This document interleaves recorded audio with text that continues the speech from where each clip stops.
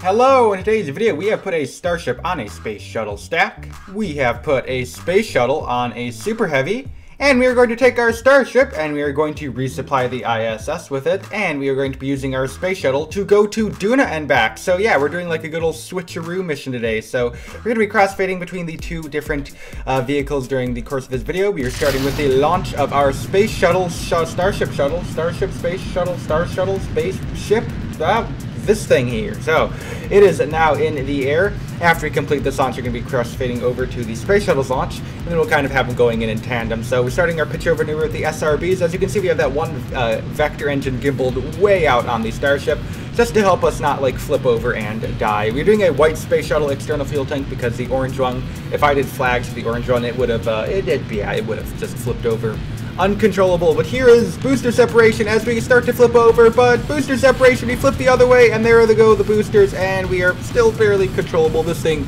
uh, this thing was kind of a nightmare, but uh, there it goes as it starts to um, power its way uh, into, into orbit. It doesn't have great, it has terrible TWR with just the three vectors. I would turn on our uh, vacuum engines, but it's not stable with the vacuum engines. It's too much offset thrust. So we're just gonna have to we're gonna have to power our way through here until the external tank is depleted. In which case, at which point, which point we will be uh, de uh, deploying it, and then we will turn on our vacuum engines, in which will power us the rest of the way uh, into orbit the last few hundred meters a second, as the last few hundred meters a second of the external tank is just about to be depleted you can see that the gimbal is really, it's definitely working. And there goes the external tank. We're to switch on the vacuum engines, and there we can go get our way into orbit, doing a rendezvous with the International Space Station to do, you know, it's like, like you know, the shuttle did, the, did ISS missions, and, you know, the Starship did does, like, Mars missions. So, you know, good old switcheroo. So there is our target, and we're to get ready to cut the engines right there. And now we can crossfade over to the launch of our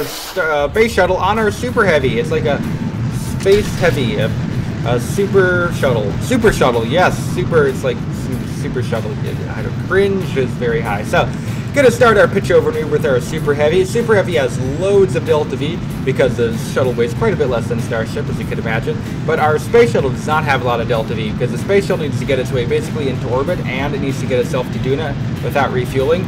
So uh, the uh, Super Heavy is unfortunately not going to be able to do a boost back burn today. It's going to be after landing on actually the next peninsula over from the KSC, so it doesn't quite have enough delta V to boost back, so getting ready to uh, to cut its engine there. There it goes. Going to stage away Super Heavy. Going to get the booster cam in the uh, top left corner there as it uh, glides its way back down to uh, to the ground. If you're enjoying the video, would like to quickly do the plugs, you want to become a member, you can become a Patreon, you could uh, subscribe, you could like. We're, we're getting a lot of subscribers. A huge thanks to anyone who has subscribed and all that stuff. You guys, you guys are awesome. Hope you've been enjoying the content.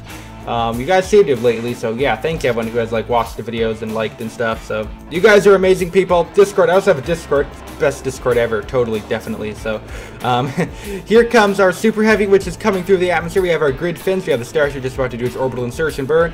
Super Heavy is also going to start its landing burn right about now. It's just going to be lighting its center engines to do the landing burn, not lighting all of them because uh, you know in real life that really wouldn't do that. So going to be coming in now. Just a few hundred meters a second of Delta V to do our landing burn as the Star Shuttle is just about in orbit, and there's good orbit from the shuttle, and Super Heavy is now on the ground. There we go. The space shuttle is going to be ready to do its Trans-Duna injection right about now to head on out to Duna. Um, the space shuttle, the reason our space shuttle has enough Delta V to be able to do this mission that's because I have the payload bay completely full of fuel. So we have around 1400 meters a second left of Delta V to do the burn with. They're going to use the OMS thrusters. Um, they do not, they're, they're, they're a mess. They're, the thrust is slightly offset as you can tell because, you know, they're obviously at the top of the, the shuttle. So uh, the thing struggles to maintain its maneuver node and it, uh, oh boy, it just, it just has issues. Um, so luckily we have enough fuel on our way back from Duna because we refuel on Duna. Uh, we do have enough fuel to, um, to make it back uh, using the vector engines to do all our big burns because the reason we have to use OMSs is we, they're not they're more efficient than the vectors. Um, so luckily the vectors can be used on the way back, so that's pretty awesome. But you have to deal with this very very long burn. This is sped up 10 times normal speed, so yeah, uh, definite definitely quite the burn here coming up here. Just about ready to finish the burn. Last few hundred meters a second of the burn will be completed. Once that is done, we are going to crossfade back to the Star Shuttle, Starship. Well, I guess it's just Starship now. Um, is it going to do its rendezvous and docking with the ISS, which is going to happen right about now. Here we go. Going to set up our maneuver node to do our rendezvous. There it is, looking good. I'm going to do uh, another burn with the uh, with the vacuum engines here. Just a few second burn to get ourselves lined up, and then we are going to uh, come in at literally 500 meters a second relative velocity. So it's uh, it's quite the quite the burn. Totally realistic how they do it. They just come at like half a kilometer a second, like full speed ahead towards the station. Um, to uh, and then they just like slow down perfectly right next to it. Totally safe, totally realistic procedure. Um, balls to the walls. Here we go.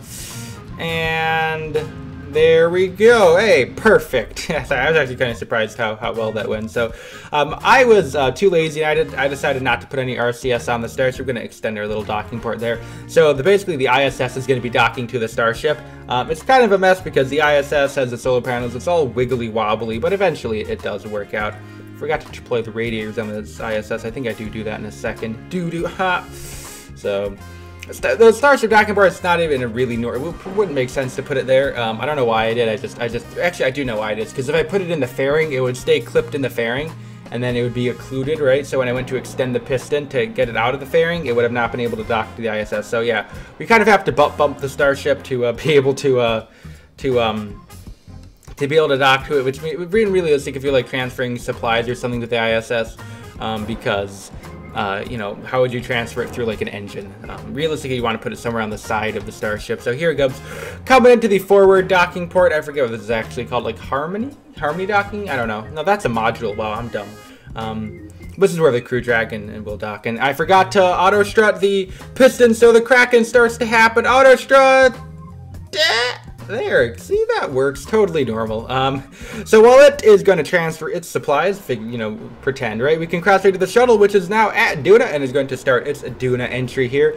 A lot of heating here. We have to be really careful not to melt that nose cone, which is very melty, but here we go. We're actually going to uh, capture and then just deorbit in one big ol' big ol' pass here as we're trying to get as much surface area uh, into the airstream as possible as the thing is a little bit spinny outy here but then we will um, we will start to a quick save there probably probably a good idea. Anyway, we can start to um, start to come on down. This is a completely like stock shuttle. Like I've not made any modifications. The shuttle look actually kind of funny because I did. I added two parachutes on each side um, near the middle.